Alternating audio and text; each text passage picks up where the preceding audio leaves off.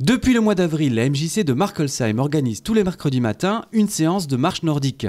À Markolsheim, près de 50 personnes y participent. Nos papis et mamies boomers se retrouvent à plusieurs pour pratiquer une activité physique et cela leur réussit. Ben, je suis venu pour euh, essayer de faire un peu comme tout le monde, essayer de marcher, euh, entretenir euh, la forme. En le faisant régulièrement, ça va beaucoup mieux, on se sent mieux que de rester toujours à la maison. Et quand on leur demande pourquoi ils font de la marche nordique avec la MJC le mercredi, la réponse est simple. Pour garder la forme physique, eh ben, comme on a la retraite, on a le temps, donc on se fait plaisir et puis on, on prend le temps à soi qu'on n'avait pas avant. Exactement, c'est ça.